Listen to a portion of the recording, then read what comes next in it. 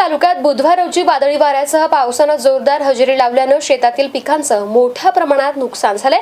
या अनुषंगानं आमदार हरिभाऊ बागडे यांनी फुलंब्री तालुक्यातील गणोरी गावास भेट देत तेथील नुकसान झालेल्या शेतमालाची पाहणी केली आहे.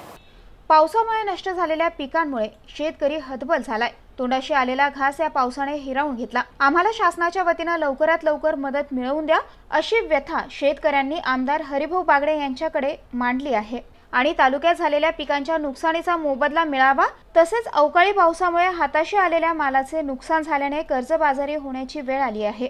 यावेळी आमदार हरिभाऊ बागडे यांनी नुकसान झालेल्या पिकांचे तात्काळ पंचनामे करावे आणि त्यांना दिवाळी अगोदर आर्थिक मदत सरकारने करायला हवी यासाठी प्रयत्न करणार असल्याचं सांगितलंय. यावेळी नगर अध्यक्ष तथा भाजपा तालुका अध्यक्ष सुहास सिरसाट पंचायत समिती सभापती सविता फुके भाजपा युवा मोर्चा तालुका अध्यक्ष बाळासाहेब तांदळे माजी सभापती सजीराव मेटे नवनाथ जाधव मिठ्ठू उबाळे रामदास भादवे यांच्यासह शेतकऱ्यांची मोठ्या संख्येनं उपस्थिती होती. Mahavir Jaiswal MCN news Phulambri.